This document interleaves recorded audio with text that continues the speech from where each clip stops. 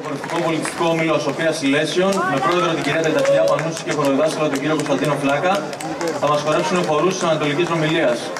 Ξεκινάνε με Μπογδάνο, Τροήρο, Στρι, Τούζικο με γύρισμα σε τσέστο και συγκαθιστό. Θα τους συνοδεύσουν η μουσική. Κύριος Βασίλης Γραμματικός στην Κάιτα και τραγούδι. Κυρία Μαρία Αντωνούδη στο ακορντεόν και το τραγούδι. Και ο κύριος Ανδρέας Μιμιάδης στα κρουστά. Σας ευχαριστώ πολύ.